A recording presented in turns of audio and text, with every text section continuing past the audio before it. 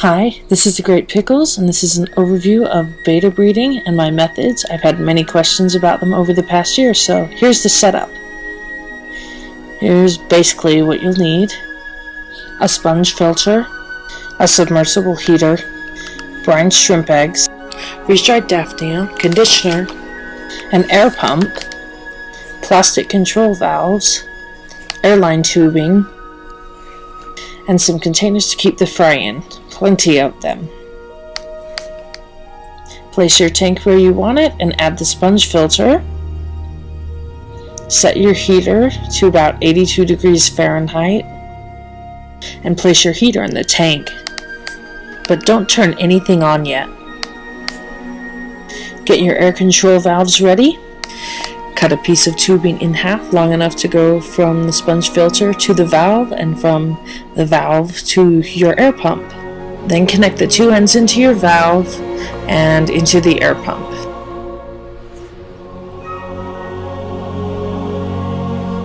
Now it's time to add water to our tank. Pour in about 4 or 5 inches of water.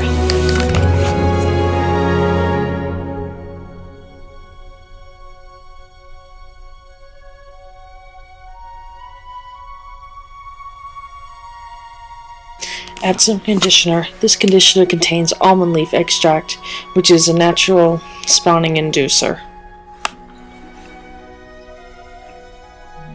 From personal experience, live floating plants for bettas are a must for spawning. Here I have some frogbit, but there are many other plants that you can choose from. Last year I used some hornwort, for instance, or fox's tail.